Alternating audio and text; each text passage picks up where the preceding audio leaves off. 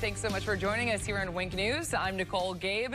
The cooler weather is finally here, and Wink News meteorologist Dylan Federico is in the Weather Center with the temperature. Announced the rebrand of an existing unit at the Lee County Sheriff's Office in 1988. The Lee County Sheriff's Office formed a volunteer unit that was known as Volunteer Observers Impacting Community Efforts, or VOICE. Today, the VOICE team has now been rebranded to become the Civilian Support Unit, or CSU. CSU program will allow for certified deputies to continue focusing in policing and enforcement functions. Volunteers provide supplemental and support services under this. It is incredible they survived.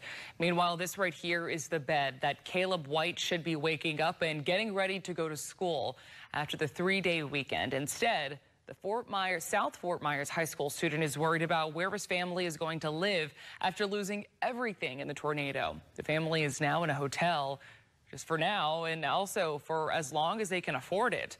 But the family doesn't know what comes after that. One person is dead and three others are hospitalized after a bar shooting over an unpaid bill. The shooting happened at a Northwest Miami-Dade bar. Now, according to police, a man was kicked out of a bar for assaulting a woman that he was actually with.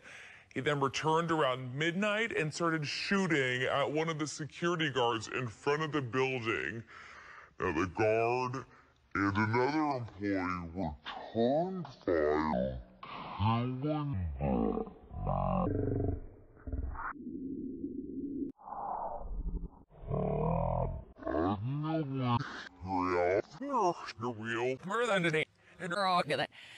is like med enough finesse or getting sitting away and wish there's maybe and then never nurse maybe eh well try to them one class server but I think some name me look at what rob maybe me self and me snap I hear I me not er er oh